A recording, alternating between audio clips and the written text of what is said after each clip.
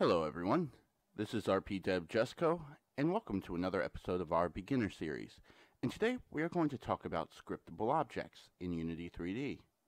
This video will be broken down into two distinct parts. The first part will be all about what scriptable objects are, and the second part will be an implementation that will allow us to save and load data at runtime. So let's sit back, relax, and let's learn about scriptable objects in Unity 3D.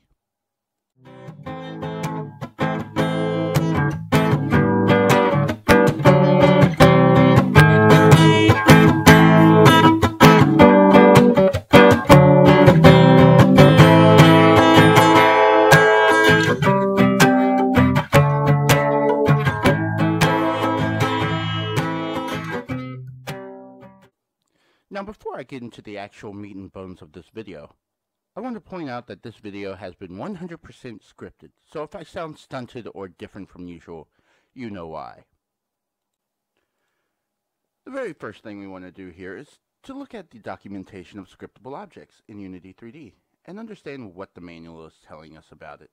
So let's navigate to https colon slash slash docs.unity3d.com slash manual slash class dash scriptable object dot html. Now, let's go ahead and read what, the dis what this description of scriptable object is.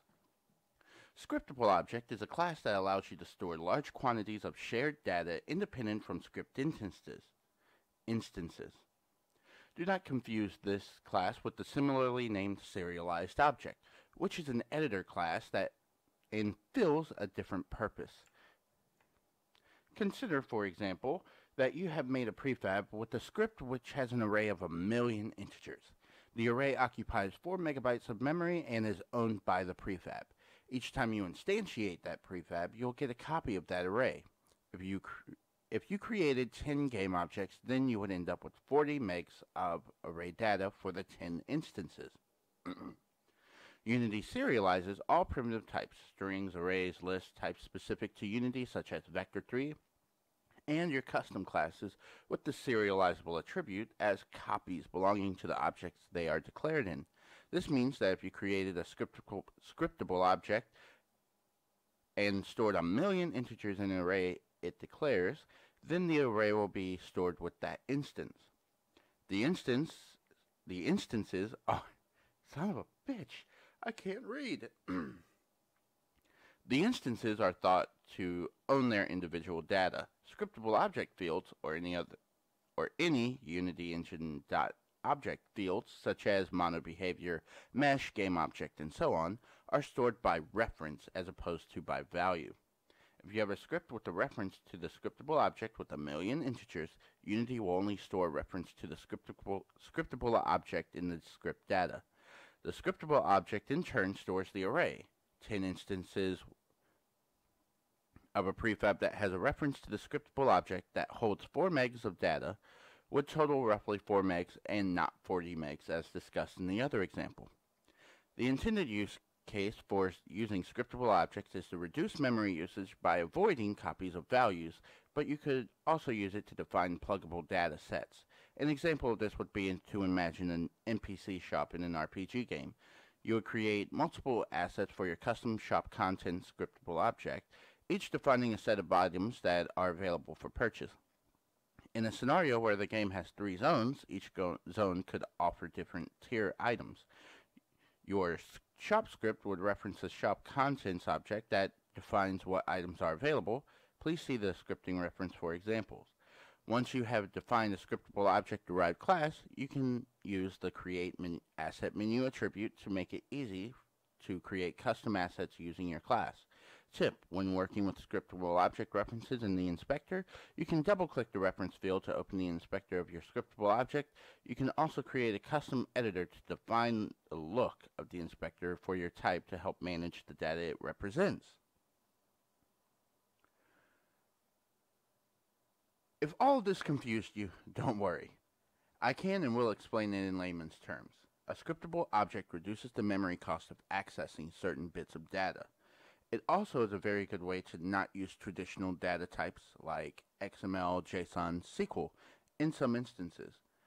This makes it a very powerful and useful tool to have in your arsenal when developing games in Unity 3D. With that out of the way, we should look to see a script reference for scriptable object.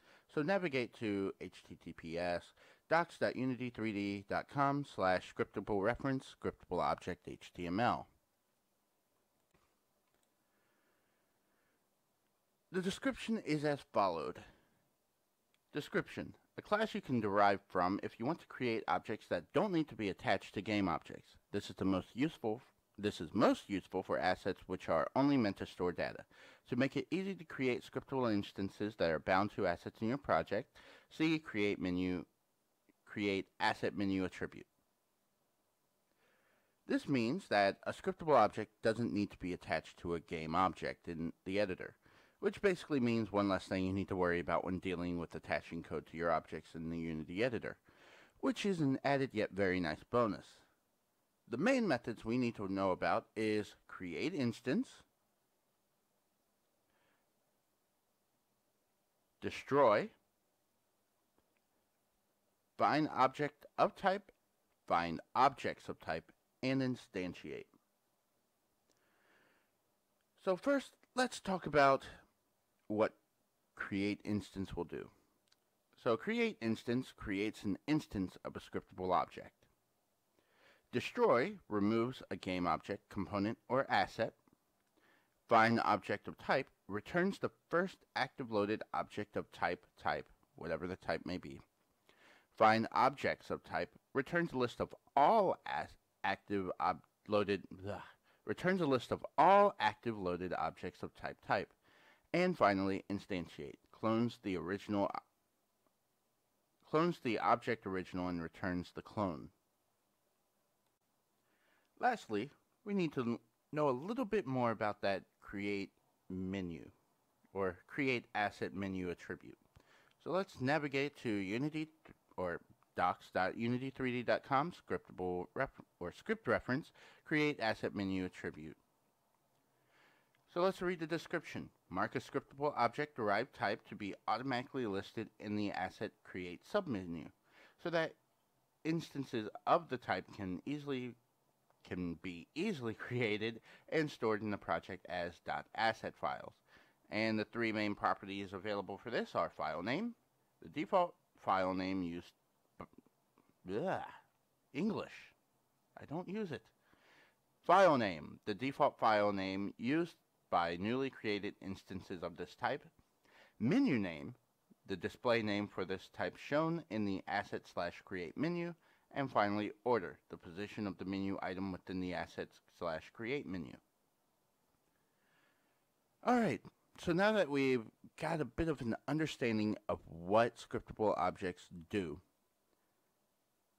that concludes this portion of this video, and we will now move into the part everyone's been waiting for, the actual scripting.